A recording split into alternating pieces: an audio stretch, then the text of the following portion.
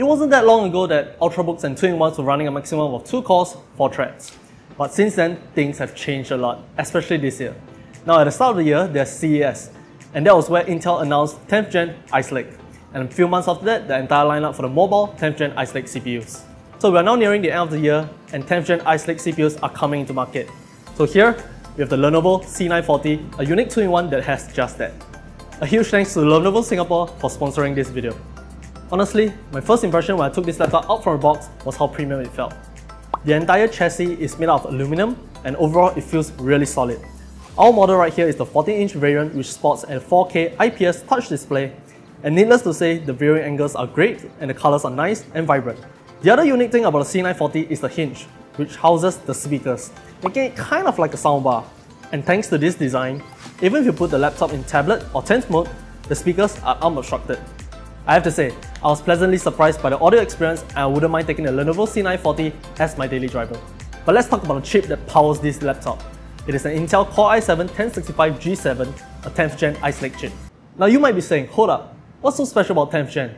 But the more I still of you guys might realize that it has been quite a while since the jump in the fabrication process. For the longest time, Intel has been stuck on the 14nm process which started back in Skylake way back in 2015. Now then you might question again, what do you actually get from a change in the fabrication process? The actual cores within the CPU, which Intel named Sunny Cove, are faster and wider according to how Intel said it. But it basically means that there's an increase in instructions per clock. Couple that with Dynamic Tuning 2.0, you'll be getting quite the performance improvement. In layman's terms, even though Ice Lake may run at similar clock speeds or even lower clock speeds compared to previous generation, you'll definitely get much more performance, even for creative applications or just for daily usage. The next big thing that 10th Gen brings to the table is Wi-Fi 6 and Thunderbolt 3. Now you might be saying, Thunderbolt 3 has already been around, what's so different?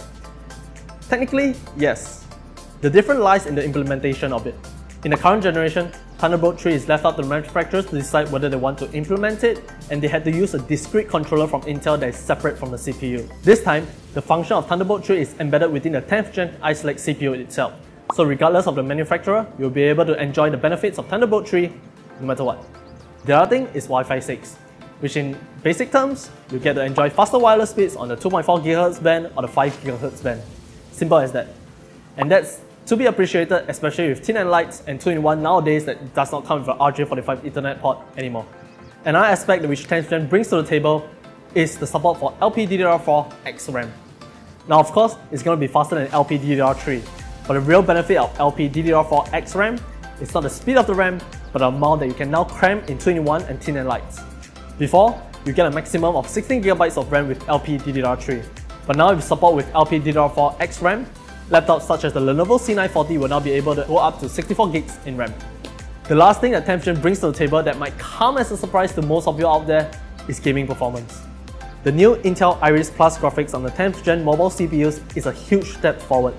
Compared to previous generations, Intel claims that it's able to hit 1 teraflop of performance and is capable of 1080p gaming. So we ran a couple of games on the Lenovo C940 to see how well it performs. Of course, frame rates aren't going to be the best, especially in comparison to having a dedicated GPU. But suffice to say, if you are a light gamer, the Intel Iris graphics might just be enough for you. So those are the benefits that Intel 10th Gen Ice Lake offers in a nutshell. More and more devices are coming into the market that features the Intel 10th Gen Ice Lake chips, like the Lenovo C940 right here. So if you're in the market looking for such laptops, perhaps you should take a look at laptops that feature the 10th Gen chips.